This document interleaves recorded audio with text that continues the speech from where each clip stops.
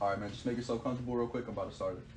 What's going on, y'all? We back with another tutorial. We're doing a taper fade on my client. So, what's something that your last barber did that you don't want to happen again? Yeah, uh, I feel like uh, last time took my corners up a little too far right here, so I told him to keep it natural. So if you could just keep an eye on that, just keep it natural. Yeah, for sure, for sure. Uh, then again, it could always be receding, so you never know. You asked me what I was, Yeah. what my experience was, man. Come on.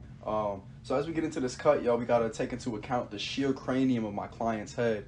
You know, it's gonna be kind of hard to work with, and we only have 30 minutes, but we can. You know what, bro? You honestly, you're getting a little disrespectful. You're getting a little disrespectful. I wasn't even trying to be disrespectful though. That's We ain't even in a real barbershop. Like, you know, you you talking crazy. We in an elementary school chair with a bat towel on, man. You're not even licensed. I mean, I mean, you gotta start somewhere though. Uh, Small business. You know? Nah, I took that a little personally, man. I don't, the first time I let it slide, but Oh, hold on, who you on the phone with? hello. Yeah, I just want to report an unlicensed barber on uh, Wow, two three okay. four five Rosemary Lane.